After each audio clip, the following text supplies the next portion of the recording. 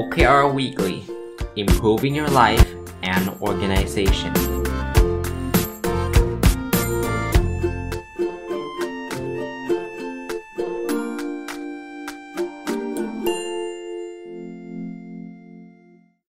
สวัสดีครับ ยินดีต้อนรับเข้าสู่รายการนบดลสตอรี่พอดแคสต์นะครับ แล้วก็วันอาทิตย์นะครับ ตอนนี้ย้ายมาจากวันพุธนะ มาเป็นวันอาทิตย์แทนรายการ My Book ก็คือวันอาทิตย์เราจะจัดรายการ OKR Weekly กันนะครับ จริงๆ หนังสือที่ชื่อว่า Objective and Key Result เนี่ยผมยังรีวิวไม่จบนะ แต่ว่าต้องขอขั้นนิดนึง เพราะว่าตอนอาทิตย์นี้เนี่ยจะเป็นสัปดาห์ที่ conclude หรือว่าสัปดาห์จบของไตรมาสที่ 2 แล้ว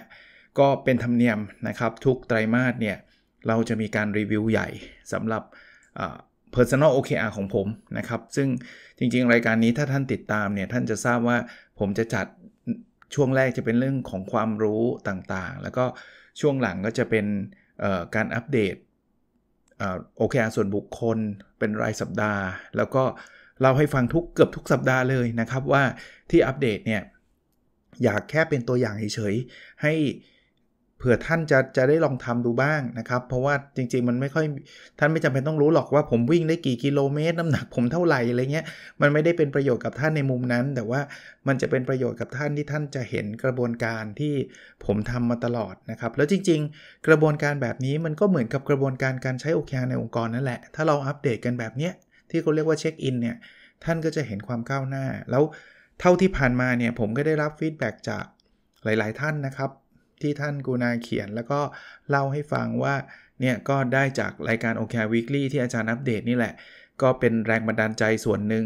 ขออาจจะเป็นส่วนเล็กๆนะครับ ที่ท่านทำให้ท่านเนี่ยได้ลุกขึ้นมาเขียน OKR นะครับหรือว่าได้ลุกขึ้นมาอัปเดต OKR ที่ตัวเองเขียนนะครับ ก็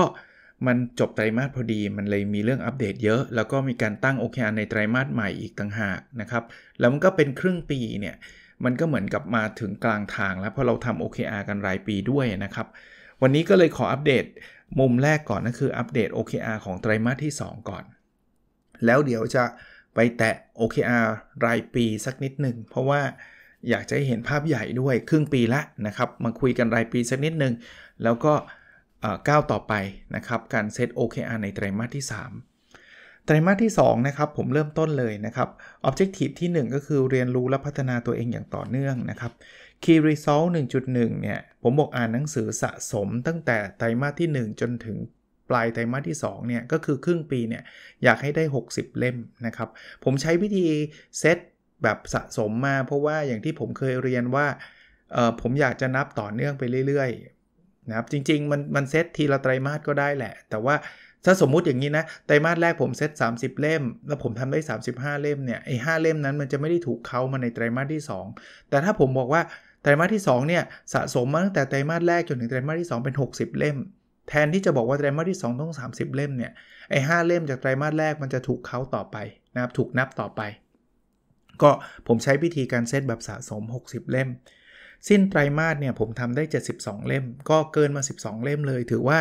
เร็วกว่ากำหนด จะเรียกว่าเร็วกว่าเป้านะครับทะลุเป้านั่นเองนะครับถ้าให้คะแนนอะคราวนี้มีคะแนนด้วย เพราะว่าพอสิ้นไตรมาสเนี่ยผมก็จะใช้ระบบของ Google ซึ่งจะมีการให้สกอร์ Key Result ตั้งเป้าไว้ 60ทำได้ 72 คะแนนเต็ม 1 นะครับสกอร์ตัวนี้มันจะอยู่ที่ระดับ 0 ถึง 1 1 ก็คือ ทะลุเป้าหรือได้ตามเป้าศูนย์ก็คือไม่ได้ทำอะไรเลย เช่น ถ้าเกิดผมไม่ได้อ่านหนังสือเลยเนี่ยก็ได้ศูนย์เนาะแต่ว่านี่ได้อ่านแล้วได้อ่านเกินเป้าด้วย 72 เล่มก็ก็ได้ 1 เต็มนะครับ ข้อนี้ก็ถือว่าเป็นข้อที่ผมทำได้สำเร็จ 100%นะครับต้องบอกว่าไม่เยอะเลยเดี๋ยวท่านจะคอยดูนะว่าไอ้ที่เสร็จสำเร็จ 100%มีแค่ 2 2 เรื่องเองนะครับ Key Result 1.2 อ่านหนังสือภาษาอังกฤษให้จบสะสม 26 เล่ม ก็คอนเซปต์เดิมนะครับ 26 เล่มไม่ใช่แค่ไตรมาสนี้ แต่เป็นการเริ่มตั้งแต่นับตั้งแต่ต้นปีจนถึงไตรมาสที่ 2 เนี่ย อันนี้ช้าครับทำได้ 19 เล่มนะครับ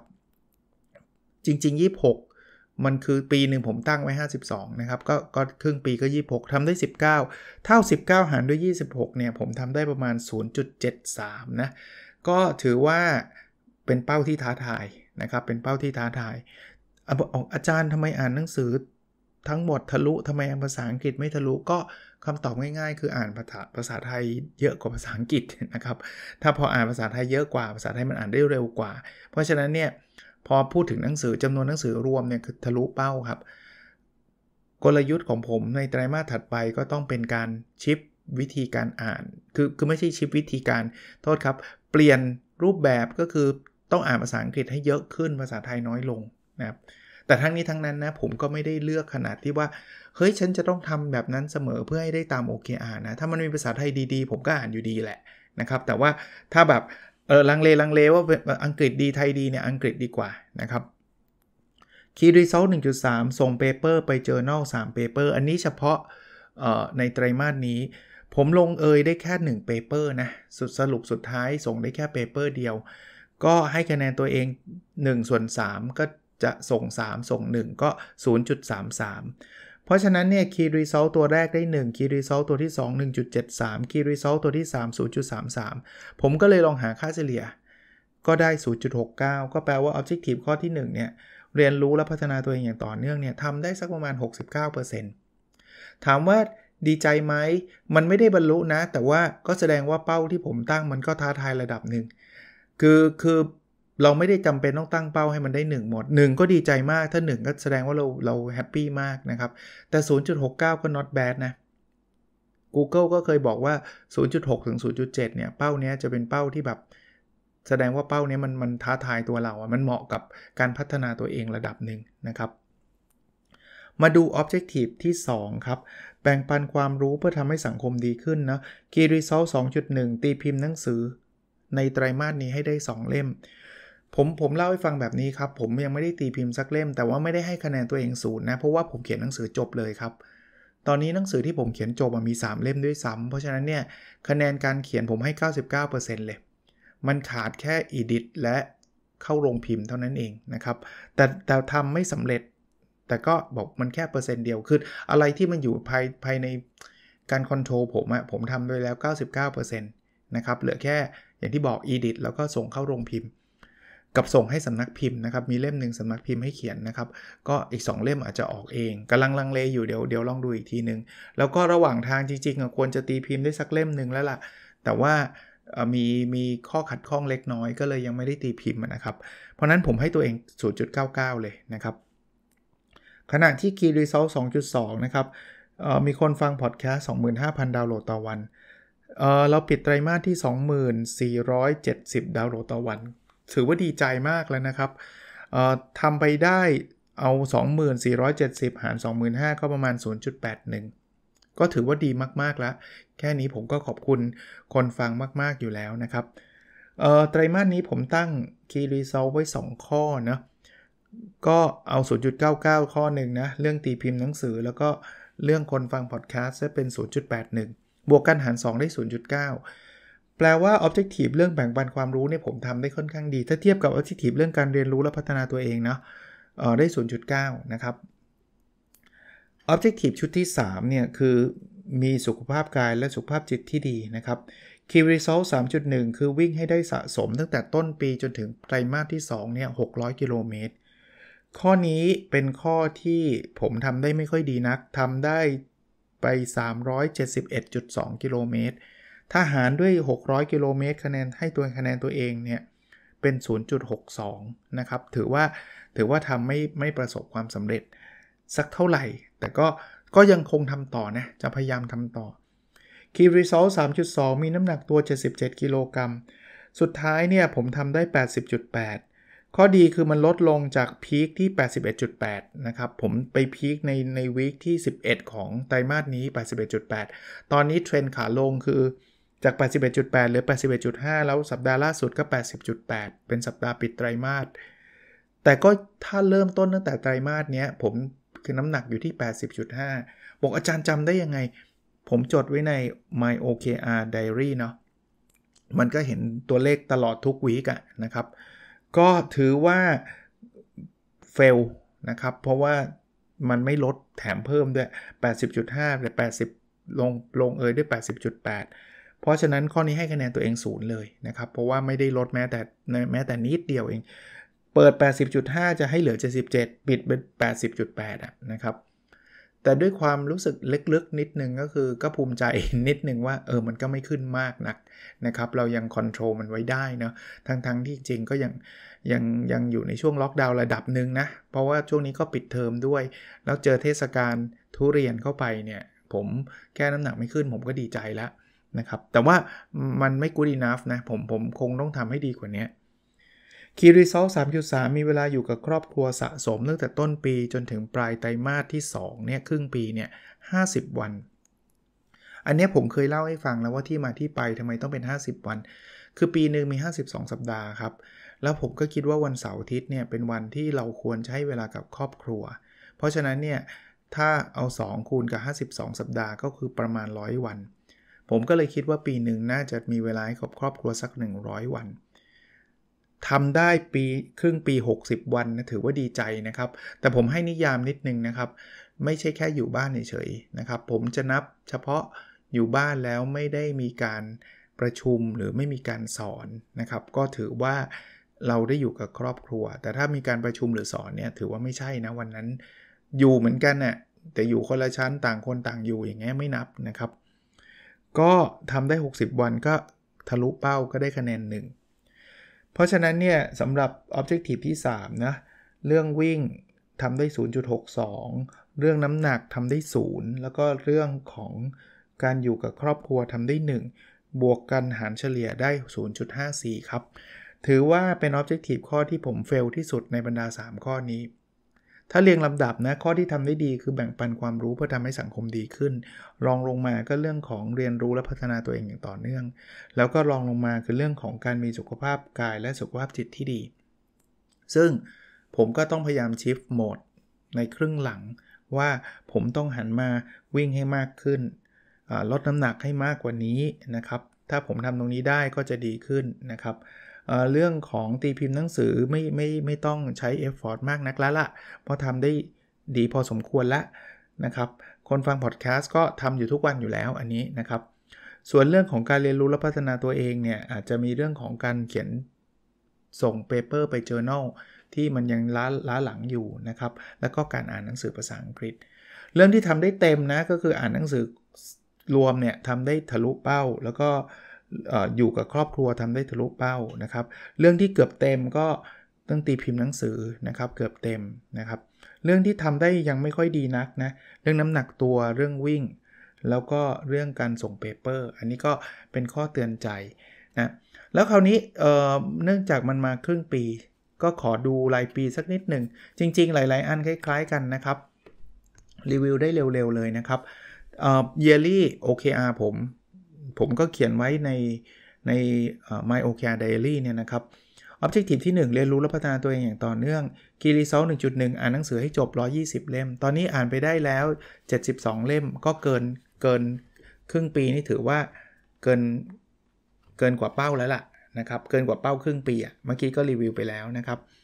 คีรีซอล1.2 อ่านหนังสือภาษาอังกฤษให้ได้ 52 เล่ม เมื่อกี้ก็เล่าให้ฟังแล้วว่าช้าไปหน่อย เพราะว่า 52 ตอนนี้ควรจะได้ 26 แต่ว่าผมทำได้จริงๆ ก็ 19 เล่มนะครับ 19 เล่ม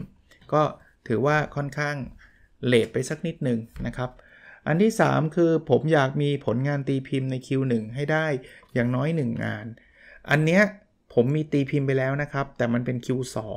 ก็ยังถือว่ายังไม่สำเร็จนะครับ เพราะนั้น เราต้องรีบส่ง paper ไปอีกหลาย ๆ หลายๆ paper เลยนะครับ ผมยังมี paper อยู่ใน pipeline อยู่ประมาณสัก 3-4 paper นะ ที่กำลัง develop กำลังบางอันก็ส่งไปแล้ว ก็เดี๋ยวรอลุ้นกันไปครับว่าอย่างน้อยๆ Q1 สักสัก paper หนึ่งจะทำได้ไหม แต่ว่าตอนปีนี้ได้ตีพิมพ์ไปแล้วใน Q2 1 paper สำหรับคนไม่เข้าใจ Q1 Q2 นะครับ มันเป็นการจัด ranking ของวารสารใน international นะมันมี 4 4 Q อะ นะครับจะเรียกว่า 4 ลีกก็ได้นะครับ Q1 คือลีกที่ยากที่สุด เอาเอาไปทั่ว ๆ ไปเป็นแบบนี้ก่อนแล้วกันนะครับ ผมก็หวังว่าจะได้ลีกที่มันยากที่สุดเนี่ยได้สักงานหนึ่ง Objective ที่ 2 แบ่งปันความรู้เพื่อทำสังคมดีขึ้นKey Result 2.1มีหนังสือติด top 10 1 เล่ม ครึ่งปีแรกไม่ได้ออกสักเล่มเลย ครึ่งปีหลังเนี่ย tentative ไว้ at least 2 เล่ม ถ้าเป็นไม่ได้จะ 3 เล่ม แล้วลองดูลุ้นว่า 2 หรือ 3 เล่มนี้จะติด top 10 สักเล่มไหม ถ้าติดก็ดีใจนะครับ Key Result 2.2มีคนฟังพอดแคสต์40,000ดาวน์โหลดต่อวัน ตอนนี้มาได้ครึ่งทางแล้วประมาณ 20,000 ก็อันนี้ผมก็พยายามทำคอนเทนต์ทุกๆวันนี่แหละ ก็อยู่กับท่านผู้ฟังครับ ถ้าท่านชอบท่านช่วยแชร์ช่วยอะไรก็อาจจะมีมีสิทธิ์ถึง แต่ว่าไม่ไม่เป็นไรนะครับ ไม่แชร์ก็ไม่ได้ว่าอะไรกันนะครับ แค่ท่านฟังผมก็ดีใจแล้วนะครับ ถ้าไม่ถึงก็ไม่ไม่ได้ไม่ได้ไม่ได้มีไม่ได้เสียใจอะไรครับ อย่างที่ผมบอกว่า แค่ตรงนี้มาได้ถึงขนาดนี้ผมก็ดีใจไม่รู้จะดีใจยังไงแล้วนะครับ Key Result 2.3อ่าอันนี้ในไตรมาสที่แล้วไม่ได้เขียนไว้ แต่ว่าในรายปีเขียนไว้ว่าจะช่วยให้องค์กรทำ OKR สำเร็จเพิ่ม 6 องค์กร ผมรับไปแล้วตอนนี้มีทั้งหมด 4 องค์กร ขาดอีก 2 ก็อีก 2 องค์กรกำลังคุยกับผมอยู่ด้วย แต่ก็เผื่อไว้นะครับสำหรับใครสนใจถ้าอยากจะเข้ามาตอนนี้อาจจะยังทันนะครับ เพราะว่า 2 องค์กรนั้นผมก็ไม่แน่ใจว่าต้องคุยก่อนอย่างที่ผมบอก ผมไม่ได้รับเฉยๆเลยนะครับ ถ้าเกิดคุยแล้วมันไม่ใช่เนี่ยผมก็คิดว่าอย่าอย่าพึ่งเลยดีกว่านะครับที่ผ่านมาจริงๆรับได้ครบ 6 แล้วละ่ะ แต่ว่ามีอีก 2 องค์กรท่านยังไม่พร้อมก็ก็เลยโอเค ก็ไม่เป็นไรครับ เดี๋ยวค่อยว่ากันอีกทีหนึ่ง Objective ที่ 3 มีสุขภาพกายและสุขภาพจิตที่ดีนะครับ Key Result 3.1วิ่งให้ได้ 1,200 กิโลเมตร และมีน้ำหนักตัว 75 กิโลกรัม ผมวิ่งช้าไปจาก 600 เมื่อกี้ ช้าไปเยอะเลย 370 กว่าเอง น้ำหนักก็ยังห่างไกลคำว่า 75 นะครับ ก็ถือว่าทั้ง 2 อันนี้ต้องต้องมาโฟกัสเยอะหน่อยในปลายปีนะครับ ครึ่งหลังของปี Key Result สามจุดสองคือผลตรวจร่างกายเป็นปกติ 100%จริง ๆ ผมไปตรวจมาแล้วนะครับ แล้วก็เอาเป็นว่า 95%น่ะมันยังมีอีกบาง point นิดหน่อยนะครับ ก็ไม่ได้ไม่ได้แบบน่าเป็นห่วงอะไร แต่ว่าก็ยังมีค่าบางค่าสูงอยู่ ซึ่งผมก็พยายามจะ work out อยู่ตอนนี้นะครับ เดี๋ยวคงได้ไปตรวจอีก แล้วพยายามเอาค่านั้นลงเพื่อจะบรรลุเป้าหมายข้อนี้นะครับ แล้ว Key Result 3.3 คือมีเวลาอยู่กับครอบครัวครบ 100 วัน อันนี้พูดไปแล้วว่าครึ่งปีมันต้อง 50 วัน ซึ่งผมทำได้ 60 วันนะครับ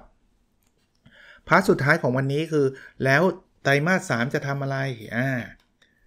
คล้ายๆเดิมนะครับ แต่มีปรับตัวเลขเล็กน้อยนะครับ Objective ที่ 1 คือเรียนรู้และพัฒนาตัวเองอย่างต่อเนื่อง Key Result 1.1 คืออ่านหนังสือให้จบสะสม 90 เล่ม 72 เล่มไปแล้ววันนั้นจะ 90คงไม่ยากมากนัก นะครับคีรีเซล1.2 อ่านหนังสือภาษาอังกฤษสะสม ตั้งแต่ต้นปีให้จบ 39 เล่มอันนี้ท้าทาย เพราะว่าตอนนี้อ่านไปได้ 19 เหลืออีก 20 เล่มเลยไตรมาสนี้ต้องอ่านไป 20 เล่มไม่ง่ายนะครับ ภาษาอังกฤษยอมรับว่าไม่ง่าย เพราะแต่ละเล่มก็หนาพอสมควรเลย แต่อ่านอยู่นะครับ Key Result 1.3 คราวนี้จะต้องส่ง paper ให้ครบ3 paper ผมว่าถ้าผมเข็น3 paper นี้ออกเนี่ยคิดว่าปีนี้จะไม่ได้มี paper อะไรออกมาอีกแล้วหมายถึงว่า ก็คงมีแค่ถ้าถูก reject มาจะต้องส่งไปใหม่ หรือว่ามีการ revise paper ก็ต้องอัปเดตกันตรงนั้นนะครับ คงไม่ได้ทำวิจัยใหม่ๆสำหรับปีนี้และปีนี้ น่าจะหยุดแค่อีก3 paper เนี้ยนะครับ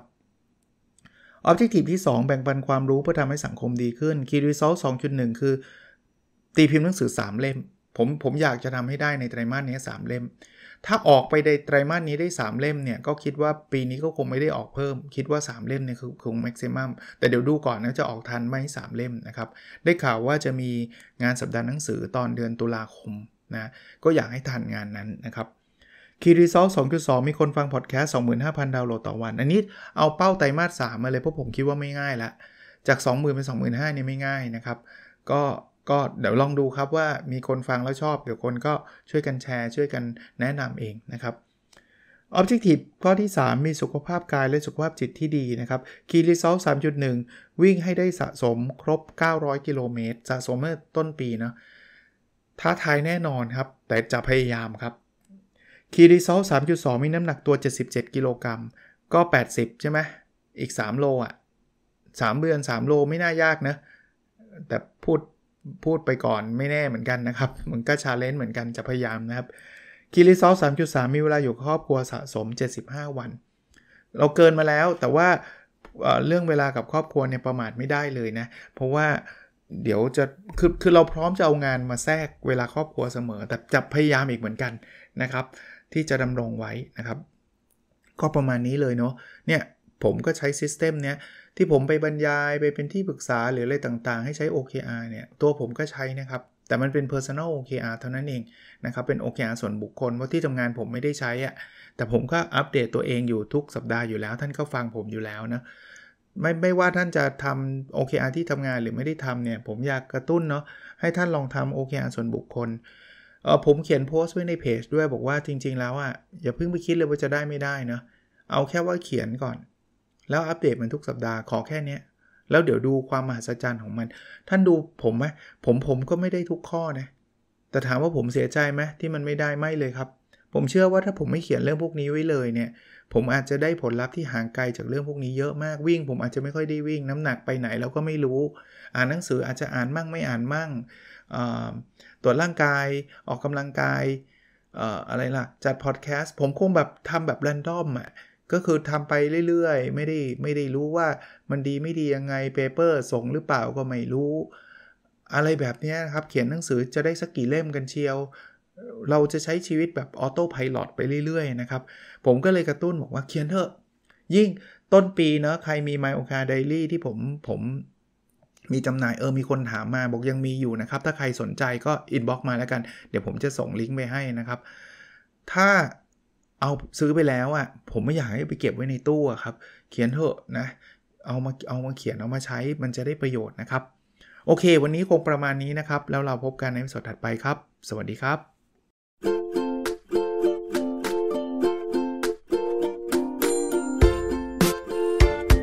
The OKR Weekly Improving Your Life and Organization